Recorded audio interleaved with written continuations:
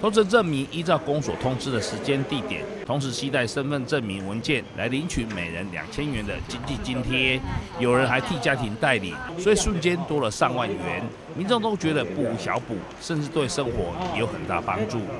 啊，伊这是迄个振兴经济津贴哦，啊，拢做三包六千块，你点一个？两千啦，安尼啊七个啊，从我从我包，从我本身七个就对啦，哎。啊，这万四块安那用？啊啊，即马来都，咱来买买物件啊，吼，买油啊是买衫买米拢摊，买菜都摊买就对。差真济哦，哎呀。买菜呀，女人就是买菜呀，家庭生活啊。就差很多啊！有啦有啦，加减啦。人讲人民啊富贵，政府就好个啊。你有相信这句啊？啊，你这六千块要哪用？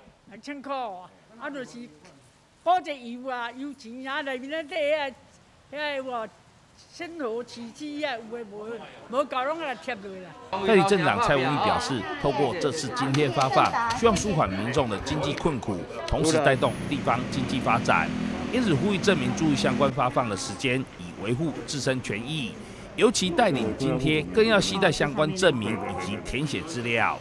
这个十月十七号到十月二十三号，啊，十月十七号到十月二十号是伫咱的国立的指定的场所。吼，就是讲咱原地的即个投开票所，吼的所在，吼民众较容易找到的所在，吼来发放吼。希望这边的即个振兴经济津贴啊，不但会当互咱即个啊民众有感受，上重要，咱这商家做生意的人啊，拢会当安尼，由于即届即个发放的过程，会当互促进到消费，互咱头城大家经济愈来愈好。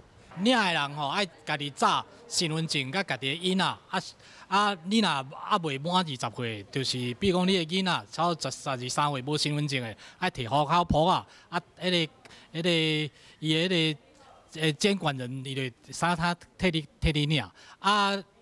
其其他的委托的人吼，啊你就是爱摕你诶受领人迄个委托书啊，写你的资料啊，炸你的迄个身份证甲印啊。哦伊迄个委托书的迄个证明写好好，啊，就会使代领。啊，阮公所呢，拜五下晡、拜六甲礼拜，吼啊，拢有加班去做，物来未诶，物未诶，迄个延延长代领的时间。公所呼吁证明，津贴补发最后期限是十月二十三号下午四点半，地点在镇公所。未领者视同放弃，也不会再补发。